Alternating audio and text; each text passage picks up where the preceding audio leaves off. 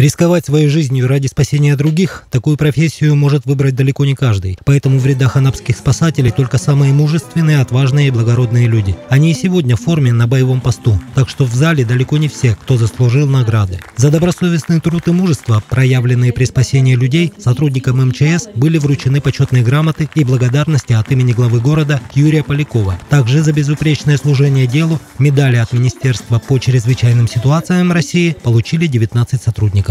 Мы провели этот год очень слаженно. Э, количество пожаров у нас за период прошлого года было увеличено вдвое. Тем не менее, те поставленные задачи, которые перед нами ставятся, были выполнены в полном объеме. Мы обеспечили запас и э, техническими средствами, и оснащением укрепили усилия дежурные караулы провели определенную подготовку личного состава, которая в свою очередь дала определенные положительные результаты.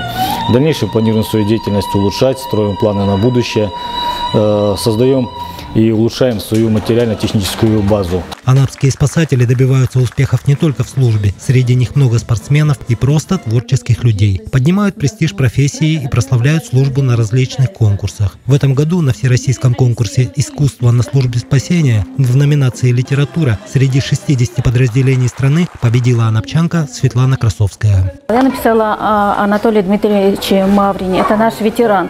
Я хочу сказать, у нас в отряде очень много замечательных людей, профессионалов, замечательных пожарных, замечательные офицеры, замечательные ветераны, поэтому о них писать одно удовольствие. В завершении церемонии награждения для всех спасателей выступили творческие коллективы городского театра.